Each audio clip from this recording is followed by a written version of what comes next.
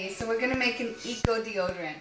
A lot of recipes on the internet, and what I noticed was they were all missing some different things. So I thought I'd share this with you guys. So, innerinsights.com is our website if you want to come and make anything with us. Every week we have workshops on how to make your own bug repellents and perfumes and deodorants. The deodorant that I've got has got seven tablespoons of beeswax melted down, a nice raw beeswax. I've added four tablespoons of organic cocoa butter, so it smells really nice, like chocolate. And then we'll add a tablespoon of shea butter, a nice organic shea butter from Ghana creamy, buttery, and a little bit of an off-white color.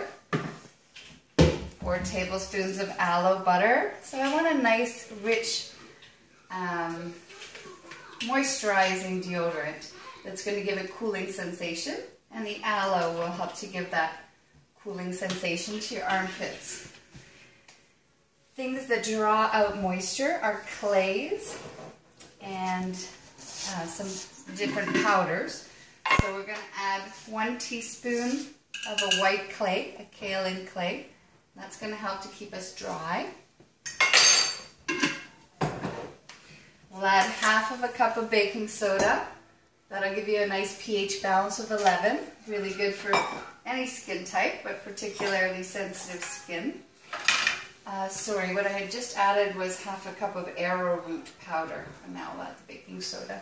The arrowroot powder is a nice binding agent like cornstarch, but it has no gluten in it. So it's a nice natural alternative.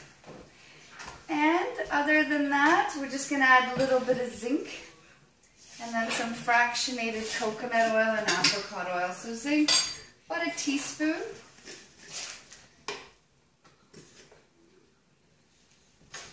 And zinc is a nice drying agent. You see that used in baby's bottom care as well because that really helps to dry the bottom. And zinc is a trace mineral that helps with sensitive skin.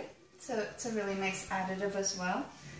And lastly was half of a cup of fractionated coconut oil and half of a cup of apricot oil. So high in vitamin E is apricot oil. And fractionated coconut oil is really light, so it's not going to be heavy. Now we just give that a good stir. You can add whatever essential oils to the armpits that you'd like, although I'd suggest maybe not using citrus or going light on the citrus and choosing those citrus good for sensitive skin like grapefruit, mandarin, and bergamot.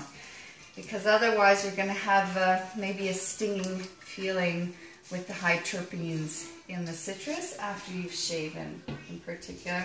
So happy pits, yay! All natural, no aluminum, no toxics. Um, enjoy. Any feedback, let me know. Innerinsights.com, Steffi at Inner Insights. Thank you.